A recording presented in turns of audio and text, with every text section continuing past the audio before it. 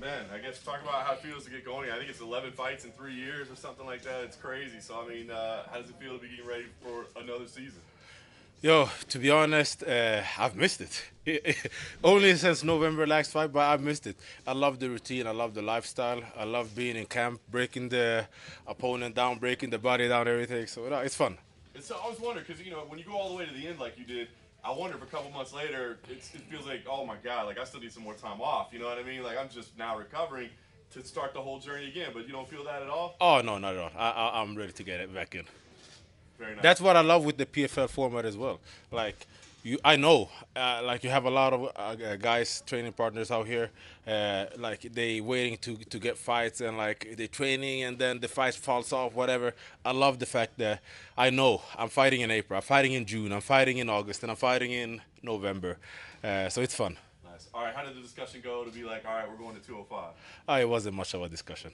It wasn't much of a like uh, I've been uh, I've been in uh, 170 for a couple of years, and the first two seasons was pretty easy, and then it just became harder and harder to make weight, and I become better and better, so I fight longer and longer in the season, so it's more weight cuts, less recovery time in between, so it was just grueling, cutting 30 35 pounds each fight, uh, so um, so now uh, a lot more fun.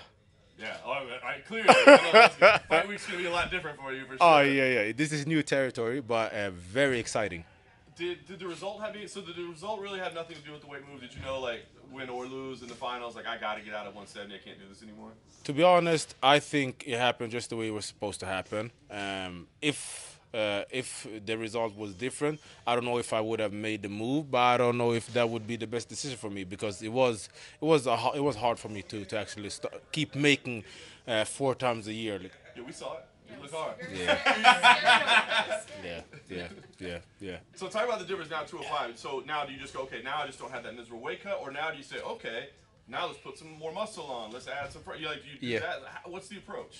Yeah, so we sat down, the, uh, me and the team, and uh, we discussed a little bit of how we should approach uh, making the 205. Uh, so uh, yeah, I put on a little bit of muscle, uh, a little bit of weight, but not too much.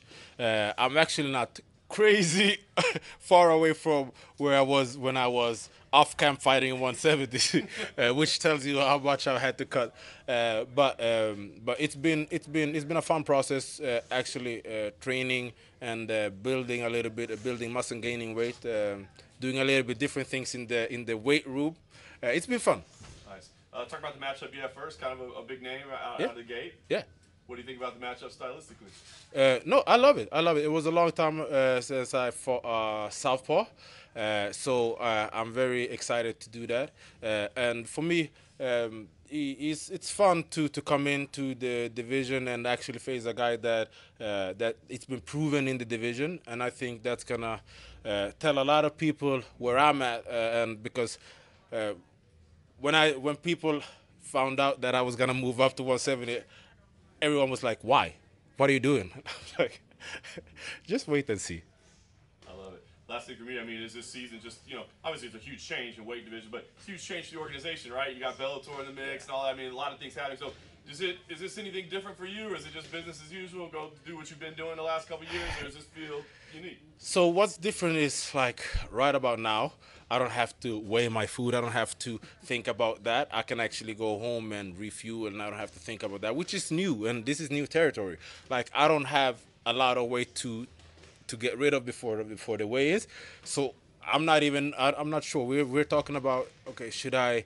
diet down a little bit and just walk into the weigh-ins at 206 or should I cut a little bit of like so that if that process is a little bit different but other than that being a veteran in the pfl format um, I believe that I still pre- I, I, I keep myself pretty even keeled, and uh, I know that uh, it's a tough fight. I'm not I'm not I'm not gonna take anything uh, lightly, and uh, I'm gonna prepare. Like I'm I'm doing everything, uh, even though I don't have to run to make weight. I run, even though I ha- like so. I make sure um, I'm doing whatever I need to do. You kind of just explained it there, but like, can you talk about the training now that you don't like half your camp, most of your camp you don't have to worry about cutting weight, right? Like, Yeah. We've seen you train. You you spar for 30 minutes and then you go run on the bike for an hour. So like, like how has training changed a little bit? Like now, are you happy to like just improve your skills instead of like the like weight cut? Like what, what's training like? usually to be honest for me everyone does it differently in terms of how how they how they like structure their training but usually like skills training for me is usually off season we don't we don't have a long off season in pfl unfortunately uh, so during camp and when i'm when i have an opponent uh, we we mostly structure the training uh, for, things that we we're trying to do in the fight and things we expect to do in the fight, getting looks that we expect to get in, during the fight and stuff like that, right? So uh, it's not too much different. And to be honest, like I, I fought I fought at 185 and uh, I fought at 170. Now I fight at 205. Like at the end of the day, when the cage st- like it's not gonna be like oh he's heavy. We gotta fight, you know. Pretty simple. So is heavyweight next? You're hitting, hitting all the gammas, or So I so I joked when when I got back uh, from Sweden. I was in Sweden after after the finals. I came back and I was heavy because I was like, yeah, I'm moving up, right? so so the guys they were like, uh, people didn't know that I was gonna move up to 205 yet.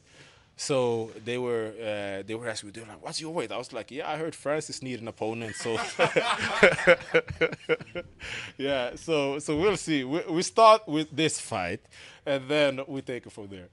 and um, you know your last weight cut was was pretty bad. Can you reveal like just what what went wrong? in- I mean, you made weight obviously, but what went went wrong in that? Because you look like death on the scale.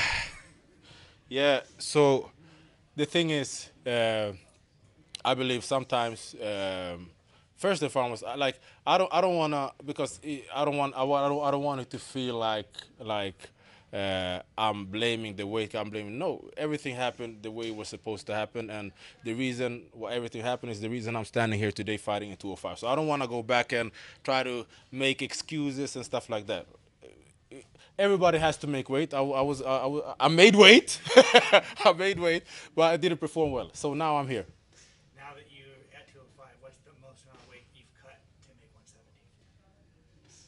170? Depends on like probably 40. probably 40. Yeah, yeah, yeah.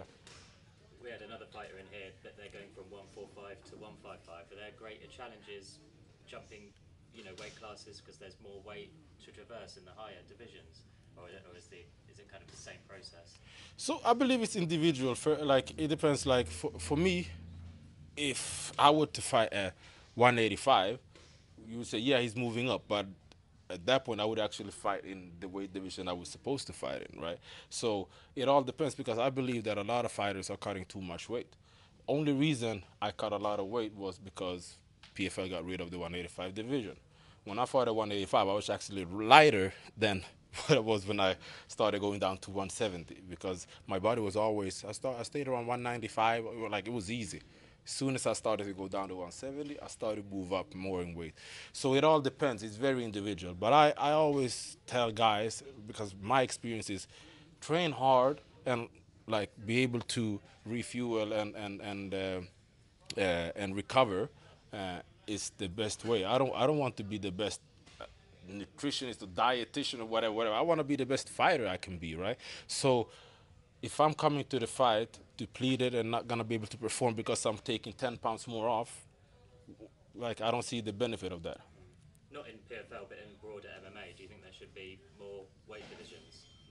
Oh, that's a great question, and like, I would say, I would say that like I haven't, I haven't like started to think about it like in depth, but uh, in boxing there's more weight division and there's more belts and you there, there are a lot of things. There's like it's watered out because there's so many champions. So- So so it's hard. That's a very hard question, and I'm definitely not the right person to answer that.